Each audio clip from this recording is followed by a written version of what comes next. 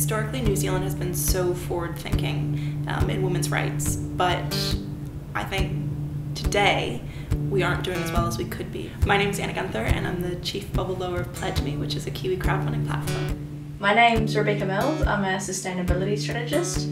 So, what that practically means is I work with entrepreneurs and business leaders to create the best outcomes for people, the planet, as well as profit. I think in today's um, world there is still a, a very large uh, underrepresentation of females in the tech space and certainly if you go along to any tech conferences you, you really feel it. I'm Frances Valintine and I am the founder of the Mind Lab by Unitec, an interdisciplinary lab here in Auckland, New Zealand.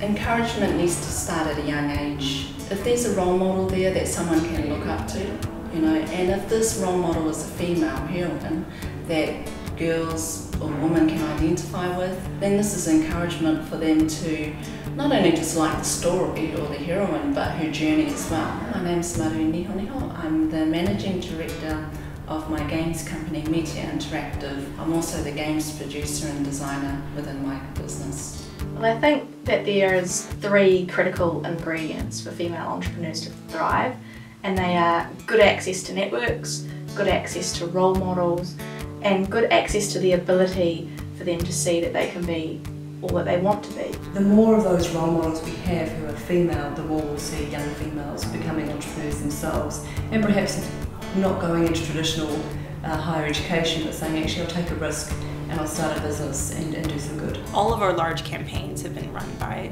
female uh, creators. So one of my favorite campaigns was the Superpower Baby Project, which was run by a woman named Rachel Callender, a photographer down in Timaru.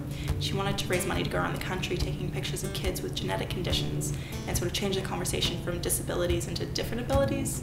And she did such an amazing job. In 30 days, she raised over $80,000 um, and managed to go all around the country taking pictures of these kids. I remember when I attended my first game conference and I was only one of a few women at the, the games conference and there must have been about a thousand people there and 990 of them were male and knowing that it was a male dominated industry and feeling awkward whenever I did attend events like that didn't stop me.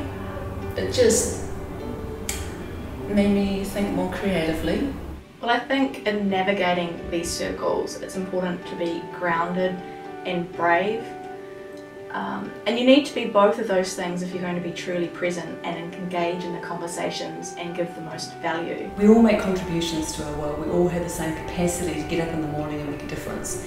And I always find it is the neighbour next door or it's the person down the road or the kid who does something remarkable in their school who really inspire me. And actually sometimes those are the people who keep me really focused because I realise that sometimes people who've got extraordinary things working against them actually just step up and actually make a difference themselves. I think the one thing that New Zealand could do to get more women into entrepreneurship would be to promote more examples of women rocking out in the space. So there's more uh, role models that we can try to be like because I think in order to be something you have to be able to see it first. I think there's one very simple thing that New Zealand could do in the next few years to encourage more women to go into entrepreneurship and that's to tell the stories of the woman who have already done this and who are leading successful lives and successful lives in a holistic sense. It's really important for females to find other like-minded females who actually support their ideas. And these don't necessarily have to be people who understand what someone does, but actually having that person who can go to and say,